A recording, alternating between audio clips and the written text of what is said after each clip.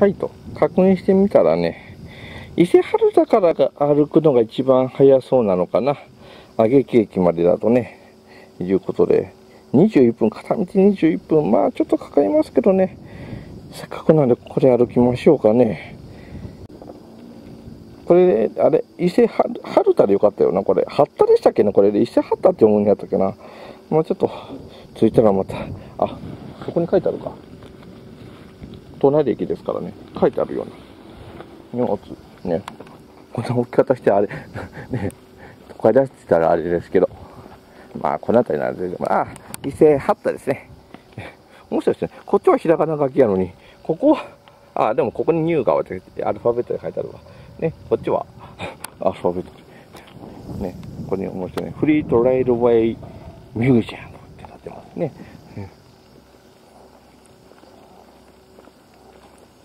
私、西藤原駅のね、横が東藤原って言ってましたけど、隣に間に西野尻駅ってそういえばありましたね。え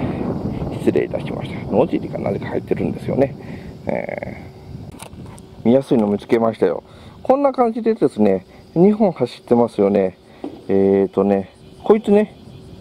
こいつが今乗ってる三岐鉄道三岐線で、この桑名上に出てくるってこっちに寄ってきて、なんかうまいこと横に両方、2本走ってるじゃないですか。この、えー、右側が三岐鉄道の北西線ということでね、微妙にくっつかないんですよ。えー、微妙でしょ？ね、同じ路線だったらくっつけてよと思うところなんですけどね、これはね、まあ、ちょっとしか、致し方ない、えー、歴史的経緯があるんですよね。というのは、もともと三岐鉄道というのはこの三岐線しかなかったんですよね。うん。で、まあ、三岐鉄道っていう名前、三重と岐阜ってね、分かるように、えこのまま岐阜の方につなげていく予定だったらしいです。関ヶ原の方に抜かすんだったかな、大垣の方に抜か、大垣に、じゃなくて、多分関ヶ原のとか大野の方に逃がすんだったんだかなと思いますけど、うん。えー、多分ね。えー、大野じゃねえか、比類か、ね、あっちとかね、あの、不破軍とかって呼ばれるような方ね、なのかなと思うんですけど、スーッと抜かしていく予定だったと。それがまあ途中で終わってしまって、西藤原までになったと。ことがすごい、この山奥までになってるということなんですね。で、対して北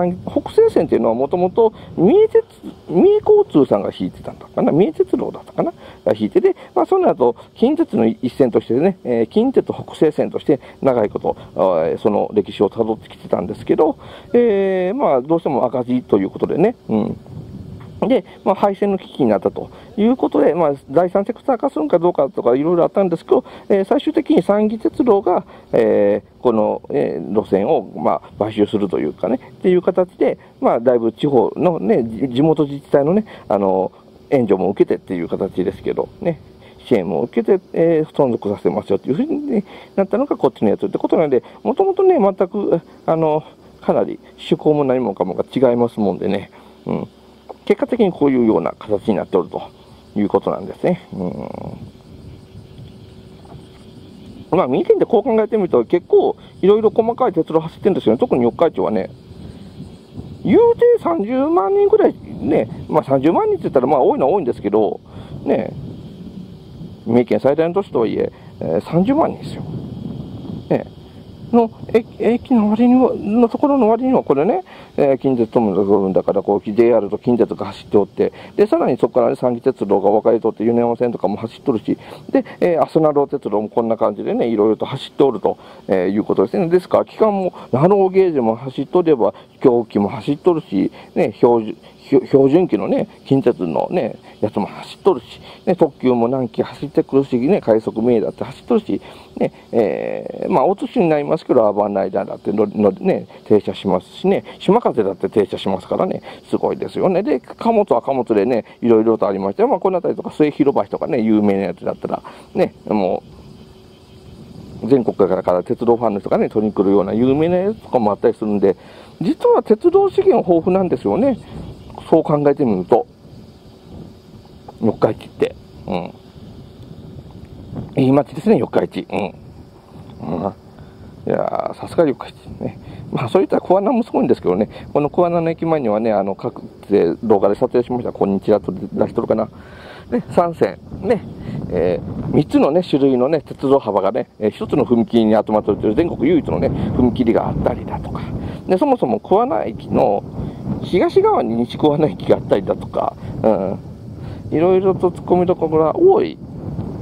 ね、さらに養老鉄道も出てますね、この前乗りましたけど。うん、いろいろと面白い要素がたくさん詰まってるのが三重県の鉄道ですよね。言うて南の方行ったらまだ南の方で面白いですし、ね、結局この練習中に行けるかどうか分かりませんけど、えー、島ヶ原の方とかね、あっちの方行くことも JR 西日本になったりしますからね、さあ、なんて言っとったら、電車がやってきますよと。どんな電車がやってくるでしょうね。またレトロな車体のやつが来ましたよ、これ。これも旧西武鉄道の列車だったかなと思います。お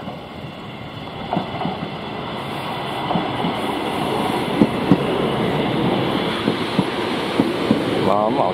まあまあお客さん乗ってますね。あ、でも3両目が